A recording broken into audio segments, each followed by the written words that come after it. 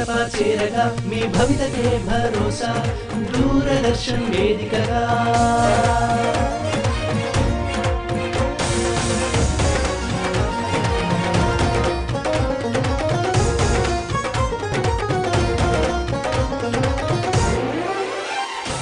తెలంగాణ రాష్ట్ర ప్రభుత్వ సహకారాలే ఉండగా హాయిగా మన చదువులు అదే అదే డిజిటల్ గురు అదే digital guru.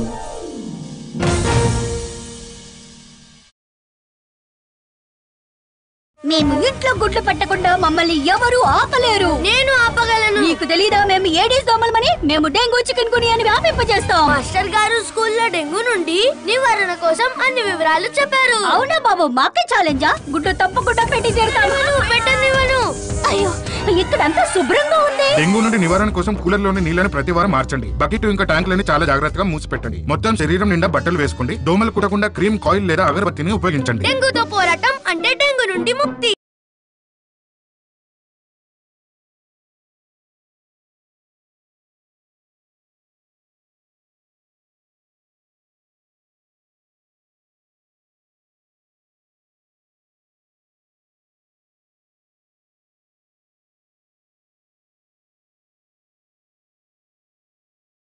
In earlier class, we discussed discovery of fundamental particles and atomic model of Thomson model of atom, Ruther, uh, Rutherford model of atom. In previous class, we discussed the alpha scattering experiment of Rutherford. Rutherford పరమాణు నమూనాలో alpha కణ పరిక్షేపణ ప్రయోగం అనేది మనం క్రిందటి క్లాస్లో నేర్చుకోవడం జరిగింది.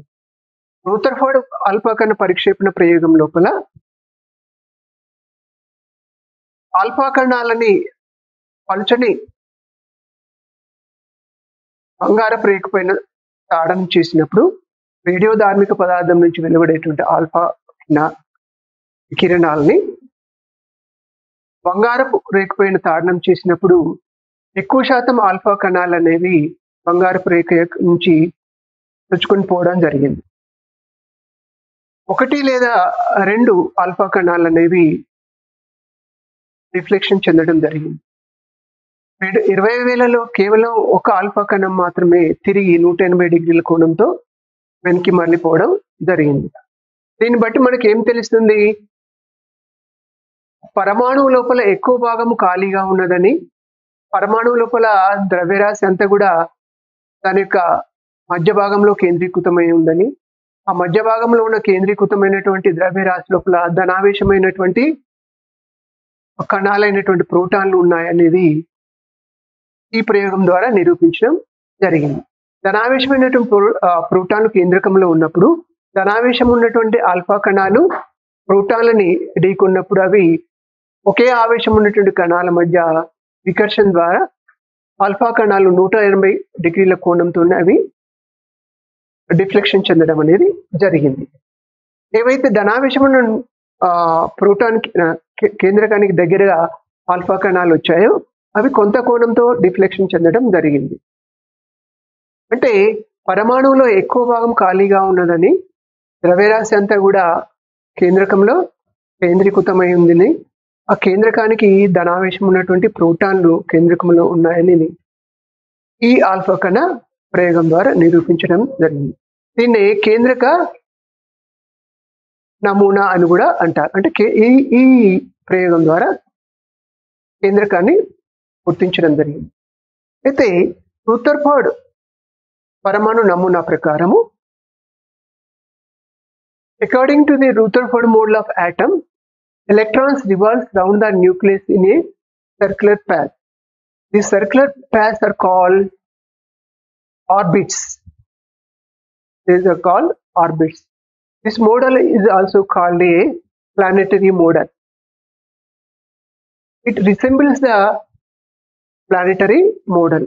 The sun is the center of the planets. Planets revolves around the sun as like that.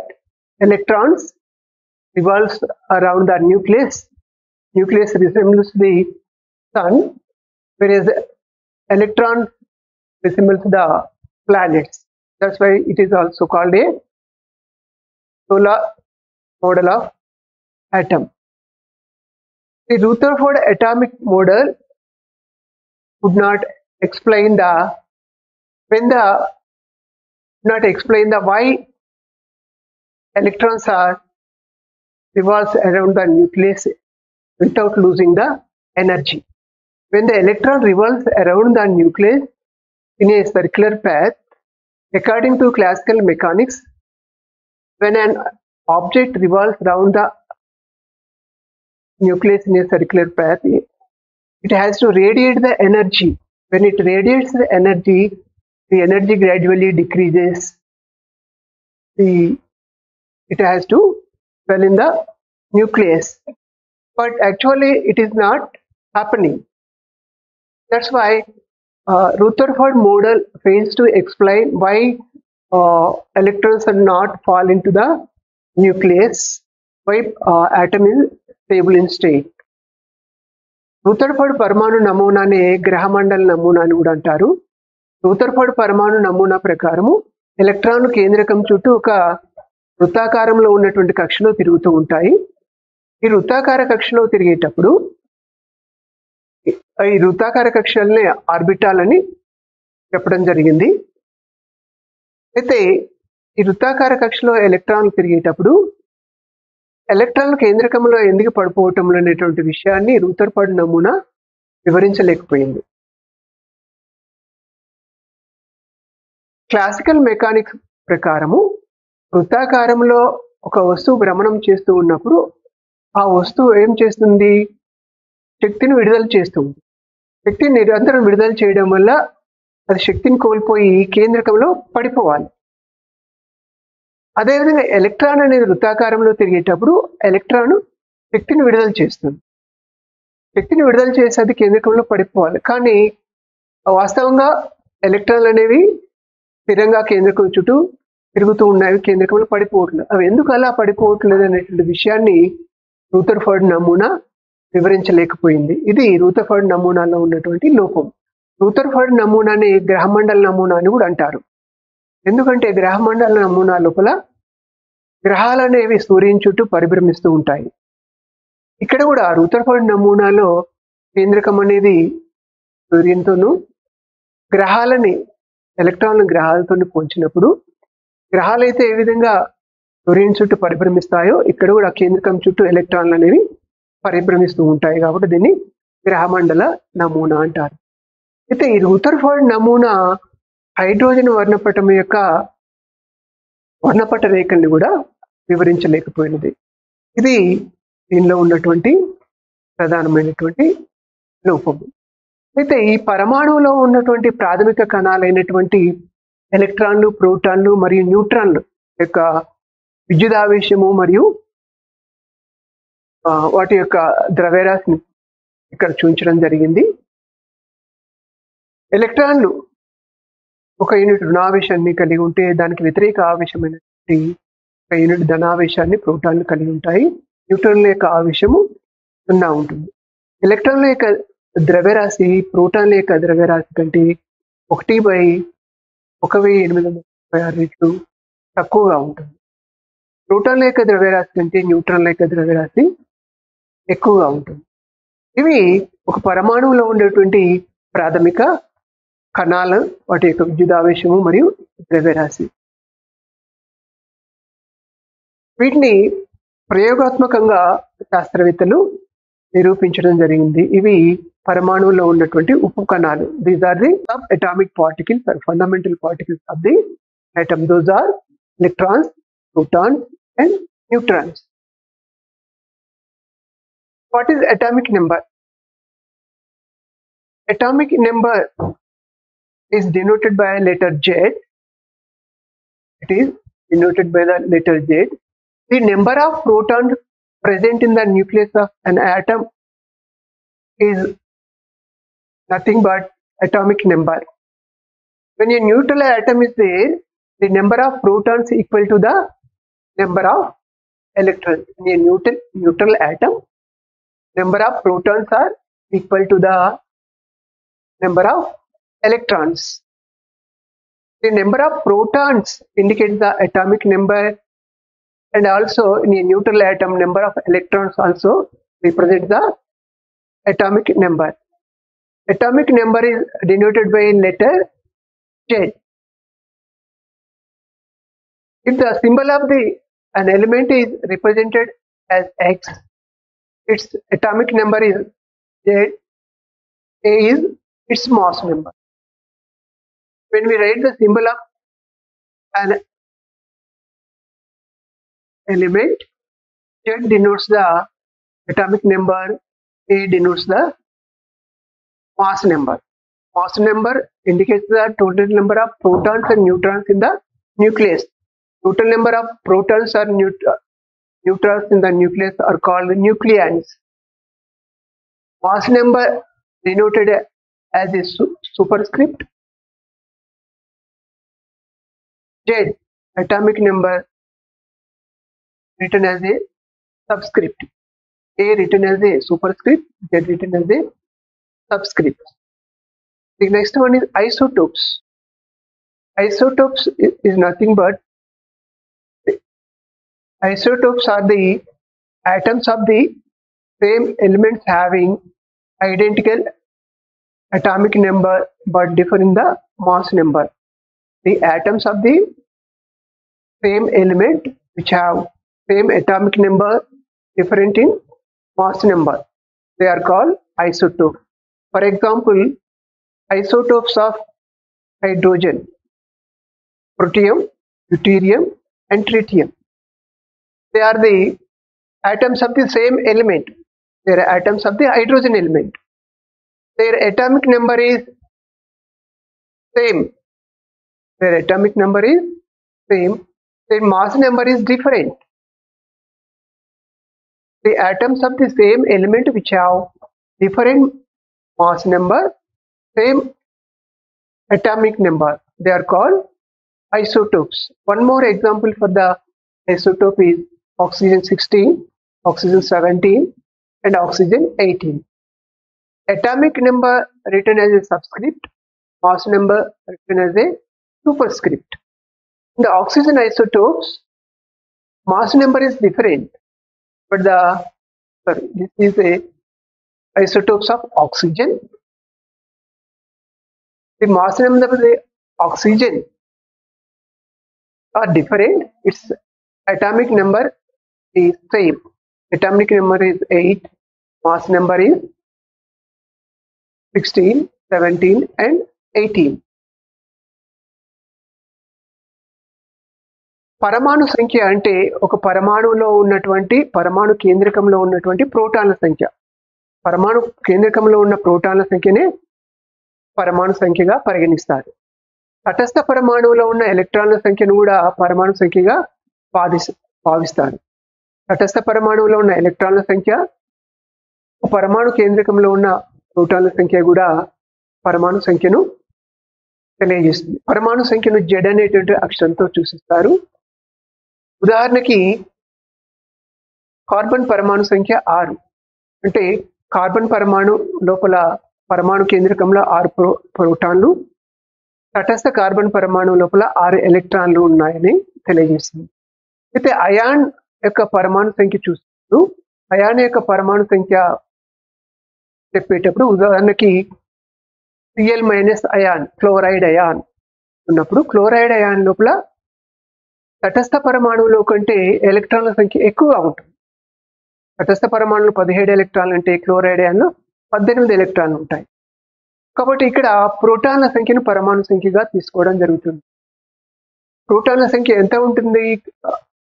Fluorine కేంద్రకం లోపల అంటే పదిహేడు ఉంటాయి. కాబట్టి పదిహేడు అనేది ప్రోటాన్ యొక్క ఫ్లోరిన్ పరమాణు యొక్క పరమాణు సంఖ్య. ప్రోటాన్ల సంఖ్యనే పరమాణు సంఖ్యగా తీసుకోవడం జరుగుతుంది. ఎప్పుడు? ధనావేశ అయాన్ని కానీ రుణావేశ అయాన్ని కానీ అయినప్పుడు.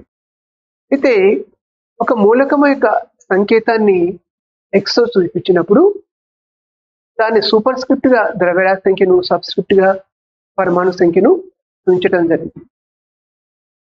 తర్వాత ఐసోటోపులు. ఐసోటోపులు అంటే ఏమిటి?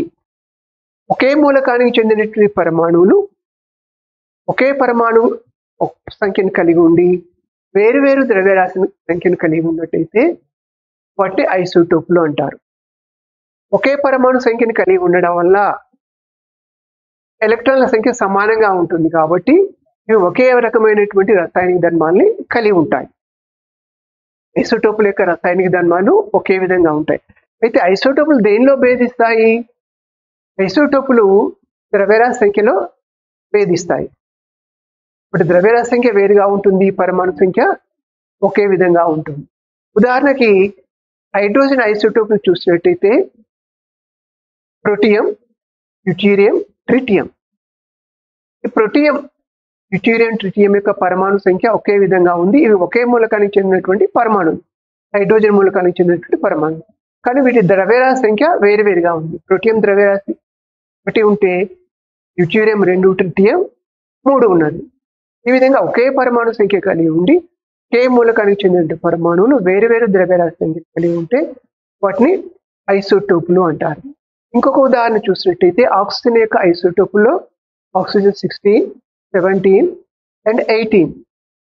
Oxygen sixteen seventeen eighteen ఏం తెలియజేస్తున్నవి? ద్రవ్యరాశి సంఖ్యను తెలియజేస్తుంది. ఇక్కడ వాటి యొక్క ద్రవ్యరాశి సంఖ్యలు వేరువేరుగా ఉన్నప్పటికీ ఇవి పరమాణు సంఖ్యను ఒకే విధంగా కలిగి ఉన్నాయి. ఒకే పరమాణు సంఖ్యను కలిగి ఉండడం ద్వారా వేరువేరు ద్రవ్యరాశిని కలిగి ఉన్నాయి కాబట్టి వీటిని ఆక్సిజన్ యొక్క ఐసోటోపులు ఈ విధంగా ఐసోటోపులు అనేవి ఇవి ద్రవ ద్రవ్యరాశి సంఖ్య లోపల భేదిస్తూ ఉంటాయి. నెక్స్ట్ ఐసోబార్స్ ఐసోబార్స్ అంటే ఏమిటి? వేరు వేరు మూలకానికి చెందినటువంటి పరమాణువులు వేరు వేరు పరమాణు సంఖ్యను కలిగి ఉండి ఒకే ద్రవ్యరాశి సంఖ్యను కలిగి ఉన్నట్లయితే వాటిని ఐసోబార్లు అంటారు. Isobars are the atoms of the different element. They have different atomic number but they have same mass number. They are called isobar. ఐసోబార్లు అనగా వేరువేరు మూలకాలకు చెందినటువంటి పరమాణువులు ఒకే ద్రవ్యరాశి సంఖ్యను కలిగి ఉండి వేరువేరు పరమాణు సంఖ్యని కలిగి ఉన్నట్లయితే వాటిని ఐసోబార్లు అని చెప్తారు. ఉదాహరణకి ఆర్గాన్ పొటాషియం కాల్షియం. వీటి లోపల ఆర్గాన్ యొక్క పరమాణు సంఖ్య పద్దెనిమిది పొటాషియం పరమాణు సంఖ్య పంతొమ్మిది కాల్షియం పరమాణు సంఖ్య ఇరవై. కానీ వీటి యొక్క ద్రవ్యరాశి సంఖ్య అనేది అన్నిట్లో సేమ్. ఉంది కాబట్టి ఒకే ద్రవ్యరాశి సంఖ్య ఉండి వేరు వేరు పరమాణు సంఖ్య కలిగిన వేరు మూలకాలని ఐసోబార్ అని చెప్పడం జరిగింది. The next one is isotones atoms of different elements which have contain the number of of are call isotones వేరు వేరువేరు మూలకాల పరమాణువులకు చెందినటువంటి పరమాణువులు వేరువేరు పరమాణు సంఖ్యను వేరువేరు ద్రవ్యరాశి సంఖ్యను కలిగి ఉండి ఒకే సంఖ్యలో న్యూట్రాన్లు ఉన్నట్టయితే వాటి న్యూట్రా ఐసోటోన్స్ అని చెప్పడం జరిగింది. ఇవి iso isotopes isobar and isotones. Isotopes differs in mass number. Isobar differs in atomic number. Isotones are they have same number of neutrons. Isotones are same number of neutrons. Isobars are same number of mass number. Whereas isotopes of same atomic number. These are the main difference among the isotopes, isobars and isotones. The next one is wave nature of electromagnetic radiation. What is meant by electromagnetic radiation? What is meant by wave? Why should uh, why should we learn uh, electro electromagnetic radiation here? Waves are two types: mechanical and non-mechanical waves. Electromagnetic radiation comes under the non-mechanical waves. When the when electrically charged particle moves upon acceleration, it produces electrical field and magnetic field. produces electrical and magnetic field. It propagates energy in the form of wave. Those are called electromagnetic waves or electromagnetic radiation. why, why should we study electromagnetic radiation here? The subatomic particles like electrons, protons, the char- charged particles, they have behave like a electromagnetic waves. They, uh, they symbolize the wave character. That's why we know the we have to know the characteristics of the electromagnetic radiation. If we take the uh, light as a electromagnetic uh, wave, light has both dual property, dual nature. It is particle in nature and wave in nature. The particle nature of the light was experimentally proved by the Newton. Wave nature of the light was proved by the James Maxwell. When the electromagnetic radiation is propagates in the form of wave, the electric field and the magnetic field, one is electric field, other one is magnetic field, they are perpendicular to the each other to the direction of the wave. The direction of the wave is this, this way. They are perp- perpendicular to each other. Electrical field and magnetic field both are perpendicular to the each other. These electromagnetic waves transmit the energy, the form of wave. How do you characterize the electromagnetic waves? What are the characters of the electromagnetic waves? Electromagnetic waves are characterized by wavelength,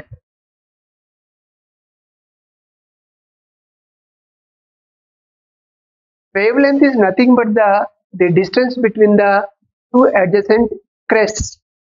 These are crests. This is denoted by the letter lambda. The distance between the two crests or distance between the two adjacent trough. That is called wavelength.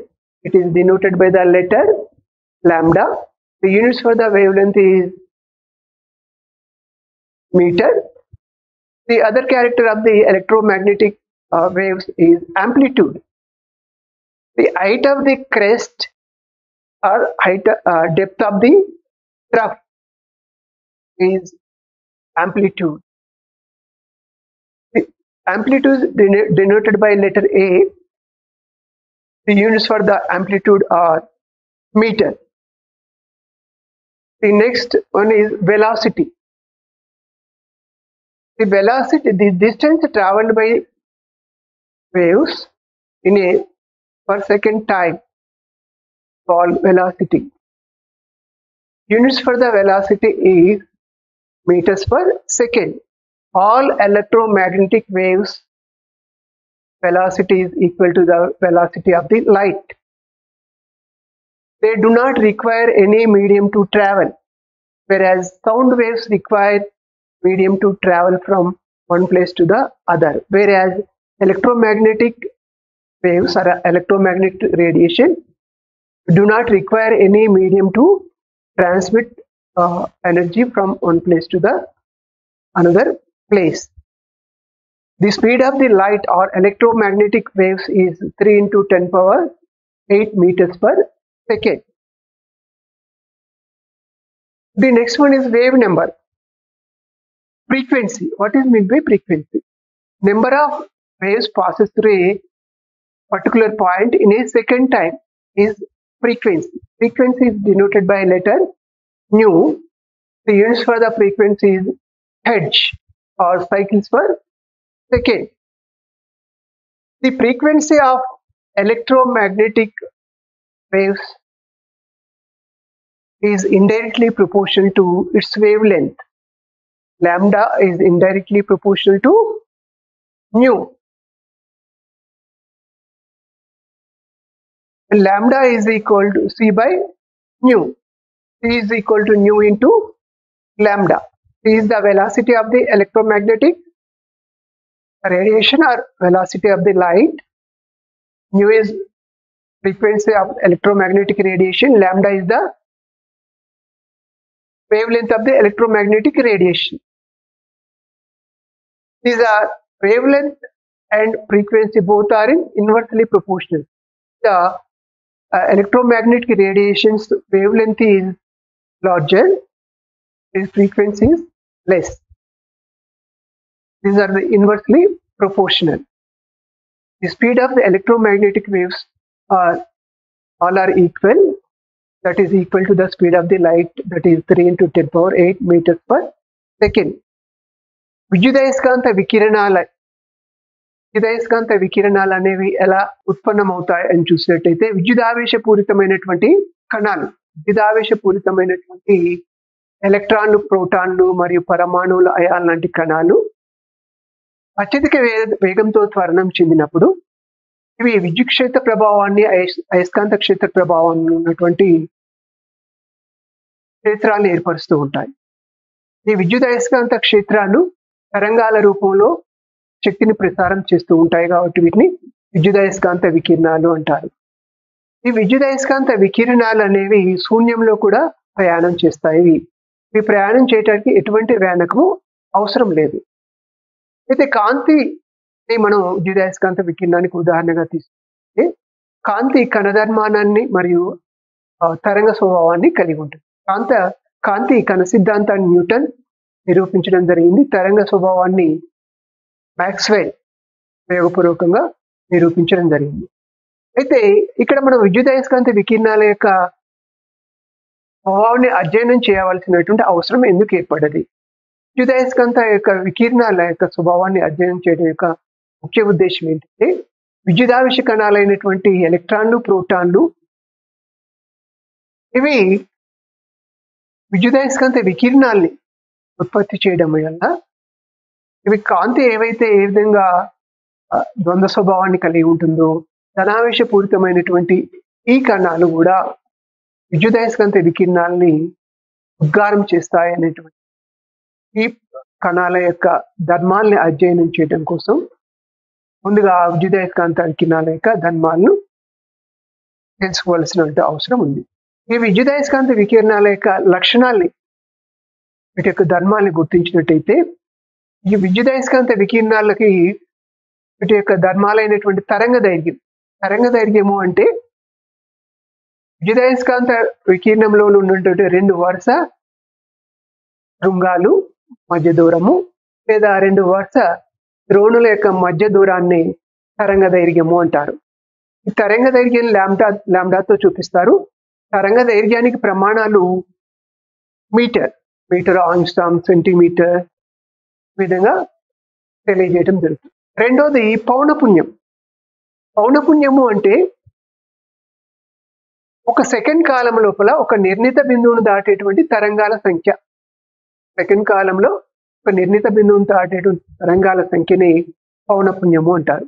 పౌనపుణ్యాన్ని హెడ్జిలలో కానీ second per సెకండ్స్లో కానీ తెలియజేయడం జరుగుతుంది. Cycles per second or per second Henry wedge hedge అనేటువంటి శాస్త్రవేత్తకి గుర్తింపుగా hedge అనేటువంటి ప్రమాణాన్ని పౌనపుణ్యానికి ఇవ్వడం జరిగింది.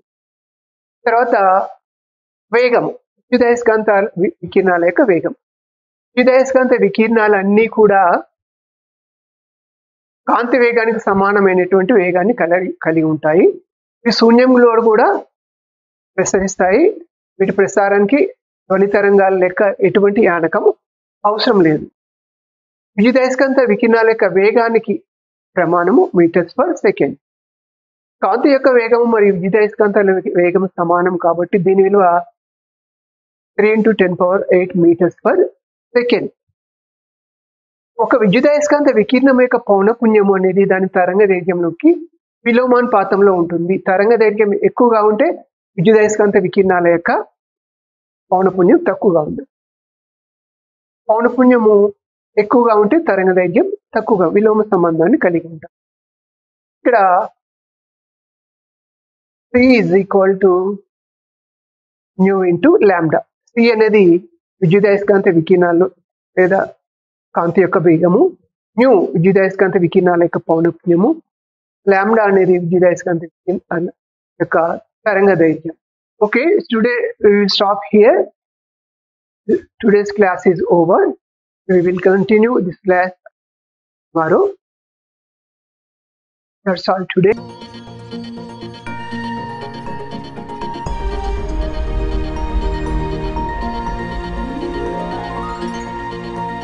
ఆ చదువులమ్మ నేరుగా ప్రతి ఇంటి గడప చేరగా మీ భవితకే భరోసా దూరదర్శన్ వేదికగా